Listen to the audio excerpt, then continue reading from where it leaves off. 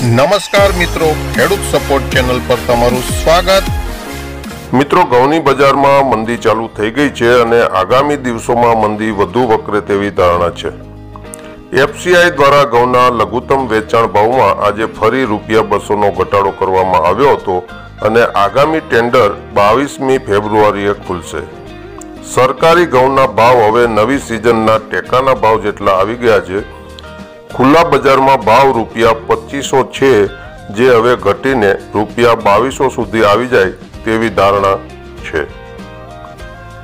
ખાદ્ય મંત્રાલયે એક યાદીમાં જણાવ્યું હતું કે ઘઉંના ભાવ નીચા લાવવા માટે સરકારે ઓપન માર્કેટ સેલ સ્કીમ અંતર્ગત એફ એ ક્યુ ક્વોલિટીના ઘઉંના રિઝર્વ ભાવ ઘટાડીને રૂપિયા એકવીસો પચાસ અને યુઆરએસના ભાવ રૂપિયા એકવીસો પચીસ પ્રતિ ક્વિન્ટલ કર્યા છે, જે ગઈ પંદરમી ફેબ્રુઆરીના રિઝર્વ ભાવ કરતા અનુક્રમે રૂપિયા બસો અને એકસો પંચોતેર નીચા છે.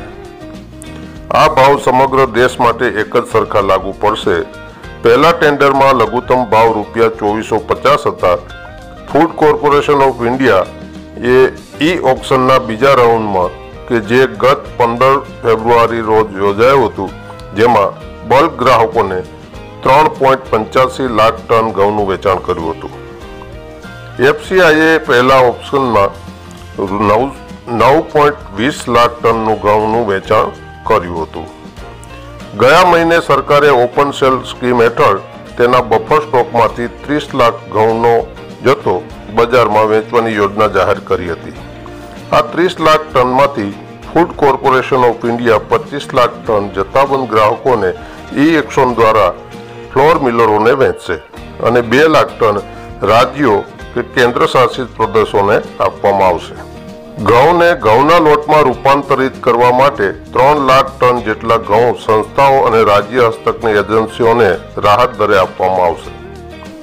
પંદરમી ફેબ્રુઆરીએ સરકાર દ્વારા આયોજિત બીજા ઈ ઓક્શન દરમિયાન એક હજાર સાહીઠથી વધુ બિડરોએ ભાગ લીધો હતો અને ત્રણ પોઈન્ટ પંચ્યાસી લાખ ટન ઘઉંનું વેચાણ થયું હતું. તેમ એક સત્તાવાર નિવેદનમાં જણાવાયું છે.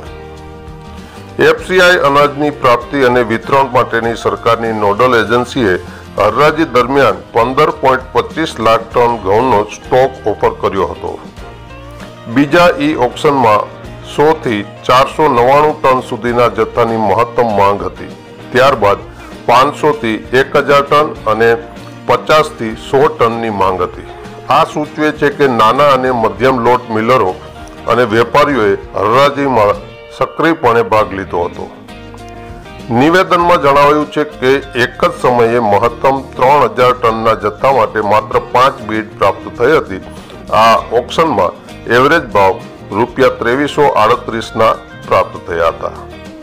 એફસીઆઈએ ત્રણ લાખ ટનના અનામત જથ્થામાંથી national cooperative consumers federation of India લિમિટેડને અડસઠ હજાર ટન ઘઉંનો સ્ટોક ઉપાડવાની મંજૂરી આપવામાં આવી છે.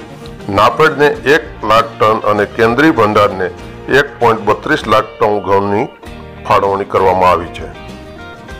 તો મિત્રો, ઘઉંમાં હજુ મંદી વકરે તેવી શક્યતા જણાઈ રહી છે. સરકારે અત્યારે ભાવમાં ઘટાડો કર્યો છે. તો જે ખેડૂત મિત્રો પાસે ઘઉં હોય, તે ઘઉં સાચવવા અત્યારે જોખમકારક દેખાઈ રહ્યા છે.